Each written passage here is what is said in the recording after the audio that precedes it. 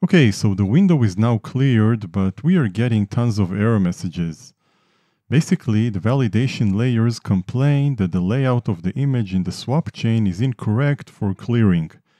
It needs to be layout present source, where in fact it is layout undefined. Now I did mention the layout in a previous video, so let me just remind you that this term refers to the way that pixels are packed in memory.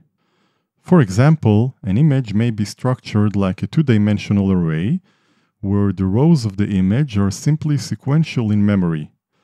Another option is tile-based, where every logical tile in the image is actually a consecutive row of pixels in memory. This layout may be more optimized for tile-based GPUs. It is also possible that one layout will perform better in one stage of the pipeline, where in fact a different layout will be required for a different stage.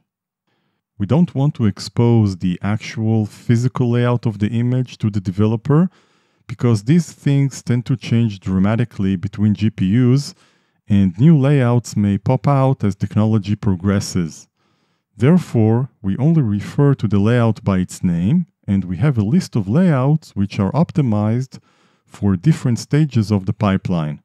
For example, optimized for image copy, aka transfer, optimized for presenting, and etc. As always with Vulkan, it is the responsibility of the application to transition the image to the correct layout. Before we dive into layout transitions, I'd like to say a big thank you to Velko, who recently joined the 3D Underground. If you too would like to support this channel, you can do that at patreon.com slash ogldev or by joining the YouTube channel as a member. Okay, so to transition the layout of the image, we use an image memory barrier. In general, a barrier is a synchronization mechanism. You can use it to make sure that the shadow map is entirely populated before the GPU starts reading from it in the lighting pass. In our simple example, we don't really need this kind of functionality. Instead, we will use the other capability of the barrier, which is to transition images from one layout to the other. There are two types of barriers in Vulkan. Execution barriers that control the order of command buffer execution, like the shadow map example, and memory barriers that synchronize the access to memory objects. Today we need a memory barrier. Okay, there are actually three types of memory barriers. Which one do you need? We have global memory barriers, which apply to all memory objects, buffer memory barriers, which only apply to buffers, such as the vertex and index buffers, and image memory barriers, which only apply to images, for example, the swap chain images. Yep, the last one should do the trick. To specify the barrier, we need to understand a few terms. First, we have the source and destination stage masks. The source stage mask specifies the stage in the pipeline where the last write operation took place. This can be any one of the core pipeline stages that we are familiar with, like the vertex geometry or the fragment shaders. In addition, we can dive deeper into the pipeline using intermediate stages like the vertex input before the vertex shader early and late fragment tests, and etc. Each stage is appropriate for a different use case of synchronization. The destination stage mask specifies the stage which will read from the resource. The same stages are used here as well. These two stage masks help us set a read after write dependency. In the case of the clear command, we have to use the transfer stage for both the source and destination. This stage represents the part of the pipeline that handles buffer copy and buffer clearing. Next, we have the source and destination access masks. This mask type specifies the way that the resource will be accessed.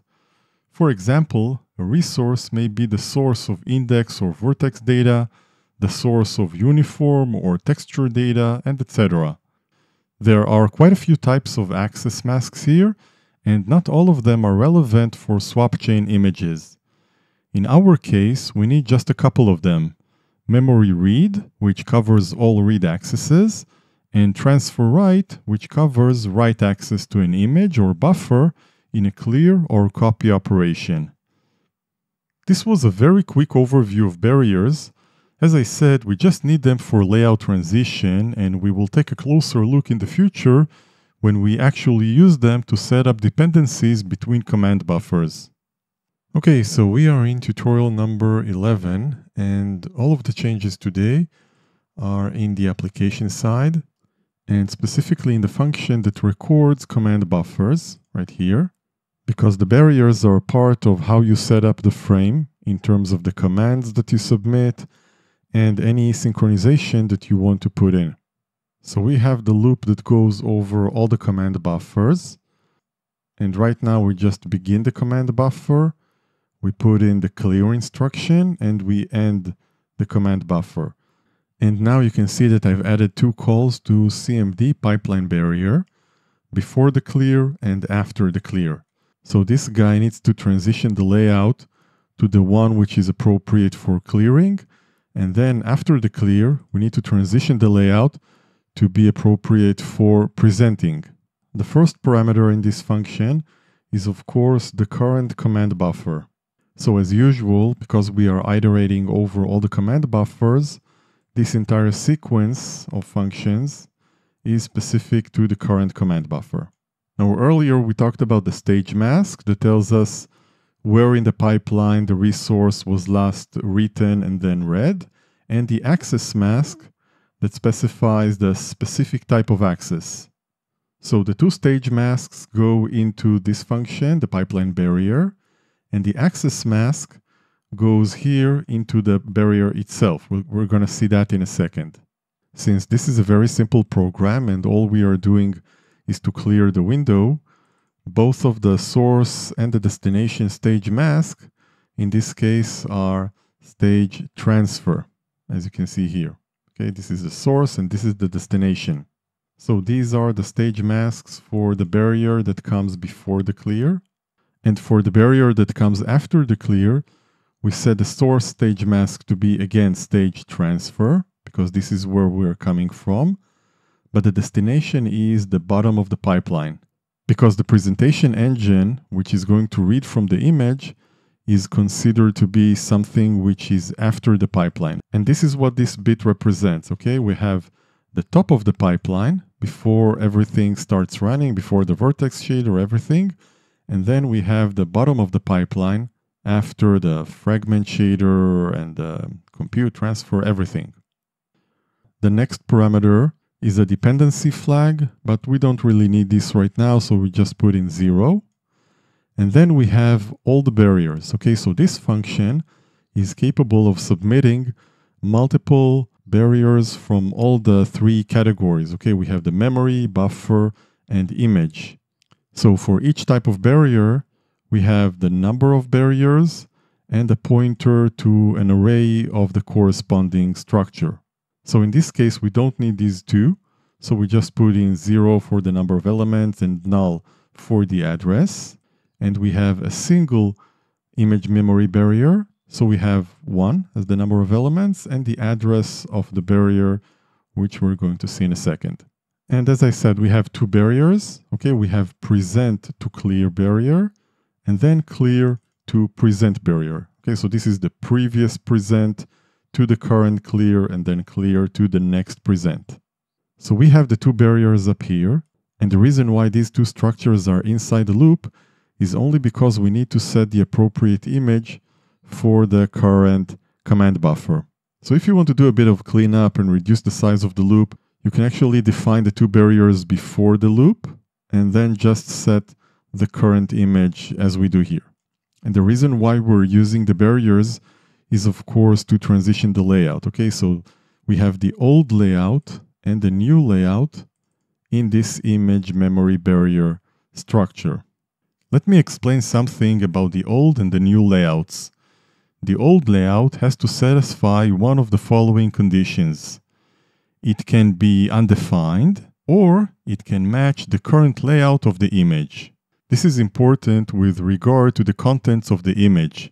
If the old layout is undefined, the system may discard the contents of the image. If the old layout matches the current layout, then the contents are preserved.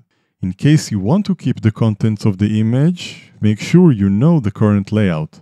So the old layout is undefined because we don't care about the contents. And then the new layout is transfer destination optimal. Okay, so this one matches the layout which the clear command expects, right? We have transfer destination optimal here, and then this is the new layout for the present to clear barrier. For the second barrier, the old layout is now transfer destination optimal, and then the new one is of course present source. So this one is appropriate for presenting. Next, we have the source and destination access masks that tells us how the resource was last written to and how it will be read. So for the first barrier, the source is memory read, and then the destination is transfer write. Now in the case of the clear command, the destination access mask is kind of like more important because it represents what we are actually doing here right? The stage for clearing is transfer, and the type of access is transfer write. For the source, you can use memory read or even access none. Both of them will work in this case. Other than that, we have the source and destination queue family index. And this is important when you want to transition the ownership of the image between queues of different families. And in this case, you need to put in the correct values but when you don't care about that, you can use family ignored. And notice that this is not zero, so make sure you use this macro. Next, we have the image and the sub-resource range, which specifies the MIP levels and the array layers. And we saw that previously, we have this already here. This is the same structure which is used for the clear, right? We have it right here. Now for the second barrier, clear to present, the source is now transfer write because this is where we were. And then the destination is memory read.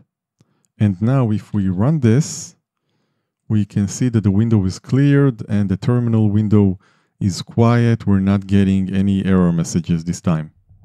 And that is it for today. In the next video, something really, really bad is going to happen to those poor barriers but um, no, sorry, um, I can't tell you. You'll have to see for yourself.